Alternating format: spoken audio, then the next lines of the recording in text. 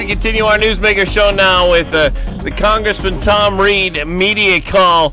Reed starts out uh, emphasizing the importance of uh, stimulus phase four and funding local governments. Uh, on the issue of local and state aid and where I think uh, we're going to have to go in order to find that compromise position is twofold. One, uh, we have to make sure that whatever we secure for direct federal aid for local governments is protected from uh, the state governor's offices uh, reaching in and reducing uh, their traditional or established budgetary lines uh, that go to local uh, governments through their traditional support lines where they share revenue and assistance to the local governments in their budgetary process. And we have to make sure that those efforts at the state level are ma- maintained at the previously established um, amounts. this will prevent what um, I am I call and I experienced when I was mayor of the city of uh, the city of Corning, uh, where they would essentially engage in bait and switch type tactics at our state capital. Essentially, whatever you secured in direct local aid uh, from the federal government, uh, the uh, state capital will reduce those local assistant lines in the budget. lo and behold, shortly after you secured that amount, and typically those amounts were reduced in the same amount that you secured from the federal government.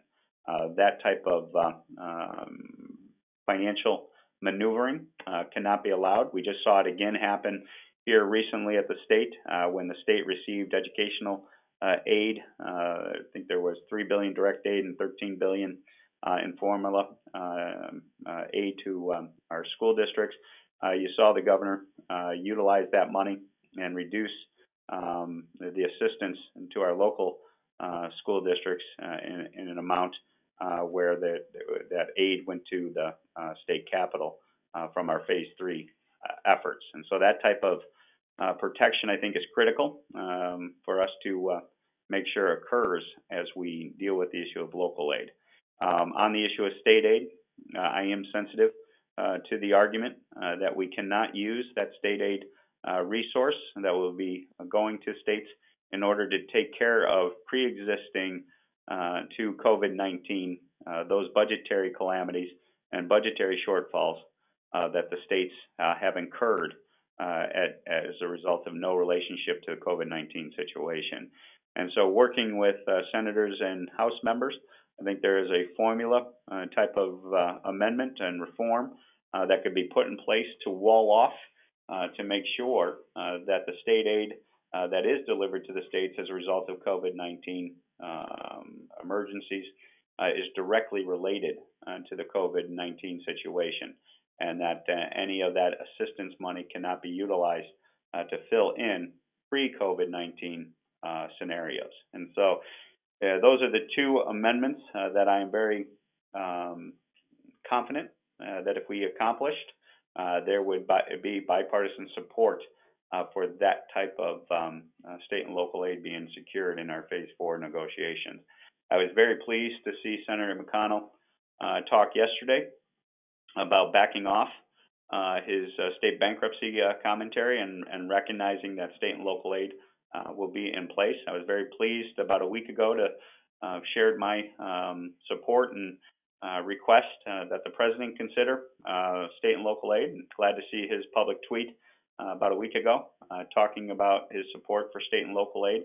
Um, and so I think uh, we are in, going in the right direction. We got a lot more work to do, um, but we will see uh, how this unfolds, obviously, as we go into phase four. And just know I'm committed to our local governments. I am committed uh, to recognizing that this crisis has impacted them significantly and uh, that we will work with them to make sure that that direct federal aid is delivered Uh, to them directly uh, without it getting tied up into state uh, capital uh, type of shenanigans or politics uh, that we often see when this type of debate occurs. And that being said, open to state aid, and we'll be in, open to trying to find a solution to the issue that is holding up that issue in regards to the items we discussed. So, all right. That gonna, being said, let's open it up to uh, where we're at. We're going to start with Jerry Zremski. Hey, Tom. Hey, how you doing? Good. How you doing? Good. Good. Tell me um, what the timeline looks like to you right now for this uh, Phase Four legislation. You know, as I'm looking at it, I think uh, we're looking at May 15th to the uh, um, beginning of June is kind of that's my instincts, just reading the tea leaves. Um, but it could go into uh, middle of June, uh, possibly. Uh, that being said, I, I'm glad to see that the um, uh, Senate is coming back into session on May 4th. Now, in the House, we were supposed to go back on May 4th, but that has now been canceled, uh, is what the report was uh, was given to me from our our office uh, about two hours ago. So we have to get back to legislating uh, in Congress, and so we'll see when we return to Washington. But that will dictate a lot as to the parameters of this final phase four negotiation. But looking at uh, mid-May um, to really be the the sweet spot of trying to get this phase four package done. Okay, one quick follow-up. Uh, is there anyone that you see in Congress who's really just saying, "Hey, let's just give it all to the states," um, or is this going to, if there is state and local aid, is this going to be a pretty easy win to get money directly for the local governments? Are there people out there in the Congress that really just want the money to go to state capitals? Oh, yeah, yeah. uh, absolutely. Um, and it, it, securing direct local aid is not as easy as it sounds. Um, and especially if you do it with that maintenance of efforts protection uh, on receipt of the state aid that I envision uh, will go along with it. Um, because a lot of the governors and a lot of the capitals will not want to be under that restriction. Um, and so uh, this is where the battle uh, will come. And, um, and, and we have to fight. We have to fight for it because as they play this shenanigans, if, we get relief to the local government, and then all of a sudden the budgetary lines that have been established in the state budget and you know, in New York, we have 90-day authority for the governor to go in and change the budgetary lines mid uh, midstream. Um, these local governments could be hung out to dry, and we're just not going to let that happen uh, because uh, the times are so sensitive, and the crisis that these local governments are facing, they cannot absorb uh, that type of midstream uh, reduction in assistance from the federal government. Okay, thanks. It's the Newsmaker Show. We hope to have the uh, doctors from St. James and St. James CEO Bryan O'Donovan coming up in uh, just a few minutes. First, though, uh, we finish up with uh, Congressman Tom Reed. Next question came from WXXI. They wanted to know, compared to phases one, two, and three of the stimulus funding, how is phase four going to work in terms of reaching the goals of helping New Yorkers? I think if you're saying um, you know, to, to, try to estimate the magnitude of a phase four package, I will I will tell you, especially if we do an infrastructure bill like I would like to do in phase four, you know that alone, uh, the goal the president has set is two trillion dollars. Um, you look at the economic devastation, uh, and I'm looking at the COVID-19 as a uh, uh, like a natural disaster that it is, like a you know that has impacted every nook and cranny uh, of America and America's economy of 22 trillion dollars. Uh, so there's tremendous demand uh, for recovery dollars uh, that to be put into that pot that need to be identified. I mean, you look at um, industries like our agricultural community uh, industries. You look at um, you know the state local aid issue. You look at what's happened in regards to uh, you got a deferment and a forbearance on rent and mortgage um, payment uh, that folks are gonna that we're gonna have to deal with because they're you know we got cash flow issues for individuals and if you have two months worth of rent that's been for been delayed, uh, how are folks going to cover that? And I think there's also an appetite for a bill that I'm uh, proposing uh, to uh, reward America's work ethic and our frontline heroes, um, where those folks, you know, we we gave out $1,200 stimulus checks uh, in this go around to essentially everyone who had a Social Security number in America. I think it's time that we consider those that stayed in a work position this entire time of the crisis and received a paycheck, and you can monitor your uh, payroll deposits to confirm this. Uh, what you, you could do is give them a, a um, uh, bonus uh, for working uh, during this period of time. And so you couple all that together, uh, you are easily going to surpass the magnitude of everything that we have put into this crisis so far.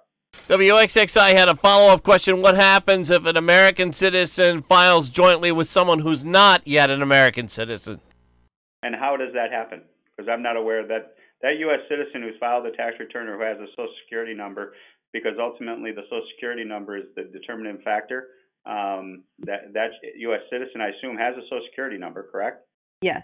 So if the taxes are filed jointly and the other person has, so this is a bit more like esoteric, I suppose. But if um, the taxes are filed jointly um, and the other person involved in it within the marriage um, has an ITIN, right? They are a taxpayer, but they are not a U.S. citizen. Uh, Okay. That apparently disqualifies the U.S. citizen from receiving the stimulus check. This is in I'd like the LA to talk to that individual, so can you send that individual over to us so that we can communicate with them? Because that U.S. citizen who's married to that uh, non-U.S. citizen spouse uh, should be receiving that $1,200 stimulus check. Okay. Next up was a question from radio reporter Terry Frank of Jamestown. Hey, Terry. Yes. Uh, hi, Tom. How you doing? Good. How you doing, Terry? Pretty well. I think I had mentioned to you uh, about Eddie Sundquist mentioning the uh, mayor of Jamestown about the shortfall that they're projecting.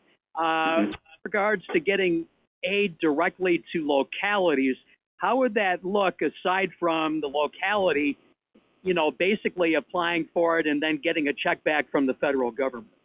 That's uh, essentially, uh, we've been discussing this in, in the office. So how we envision and how this has happened before uh, is um, uh, obviously there would be funds secured uh, in phase four for direct local aid. Um, there would be a formula upon which that local aid would uh, be determined uh, for the local community to make the application to, to show that they have had this happen in regards to their uh, cost associated with COVID-19. Uh, this happened in regards to the lost revenue, and that whole formula can be set forward so that the local government directly receives that um, to the um, uh, to the local government to the local government with no reductions at the state level.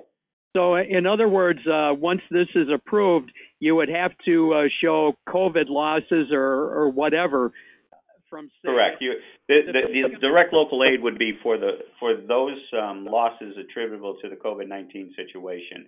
Um, and obviously, this is subject to final negotiations, and the details that uh, would be hash, hash, have to be hashed out is how much would you um, have to show was directly related to um, costs associated with the COVID-19 preparation? Uh, how much would you show as a result of loss of revenue because your uh, your local economy is you've lost sales tax, uh, room tax, the other general revenues because of the the stay-in-place orders, things of that nature. And so a loss of uh, revenue calculation, I envision, will be part of this uh, negotiation and final formula. Very good. Thank you. It's the Newsmaker Show. I'm Brian O'Neill, and um, I just got a phone call and now being joined by St. James CEO Bryan O'Donovan. Brian, uh, St. James has of this week started doing the elective or unnecessary surgeries, as some say, and uh, ambulatory treatments. Wondering how is that going? were elective, meaning that um, you know they weren't urgent or, or emergent.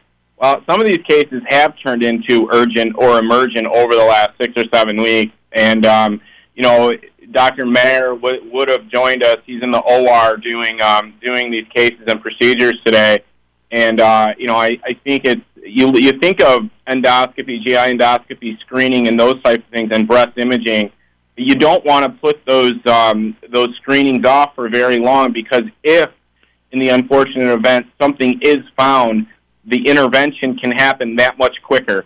And so I think this is a big advantage um, overall for, for the hospitals in, in upstate New York. And I do think, you know, moving forward, it's, it's going to be a little bit different. I mean, we're not putting um, patients' families together in, in the waiting room for our, for our operating room or our surgery center we are implementing all of the appropriate safety measures, and, and some of that, Brian, is spacing out cases much further than we normally would do to make sure that we are adhering to social distancing guidelines as well as masking and um, and the other precautionary measures um, that we need to take to keep our patients and our staff safe. Last week, hospital doctors uh, put out statements saying uh, not to avoid going into the hospital, especially if you needed an ER visit. Uh, the doctors, uh, Dr. Ashdown, Dr. Robshaw, and others, uh, what they said was people seem to be fearful of coming into uh, the emergency room or other places out of a fear of catching COVID 19. So they put out a statement explaining that the, the COVID patients were in a different section and you you were not going to catch COVID 19 if you walked into St. James. Wondering, has the situation lessened after that statement was put out? You know, it has. And, and I think, uh, Brian, you know, coming from physicians is, is a very different message than, than coming from me. I mean, these physicians Um, you know, they've they've been around quite a long time, and, and um, you know, they're the ones that are taking direct care of our patients. Um, you know, I, I think the one thing that that's really crucial uh, to know is, you know, we've had 20 to 30 um, inpatient COVID positives, and we've done such a good job with PPE and not exposing our staff or other patients. And now what we're seeing is a decrease. Um, this is the first time in five days in a row, at least the testing that we have done, and we're usually doing about 15 to 20 COVID tests a day throughout our organization on patients. We had zeros five days in a row, zero positives out of, let's say, 50, 50 to 60 tests. So I'm extremely encouraged um, um, by this. We have not seen that, a stretch of zero positives um, at St. James in, in at least, you know, six to seven weeks. So I, there is definitely light at the end of the tunnel here, and I give a lot of credit to the community for really taking the, the social distancing measures um, seriously, as well as our, our team here um, using protective, uh, personal protective equipment and um, the other precautionary measures that we've implemented.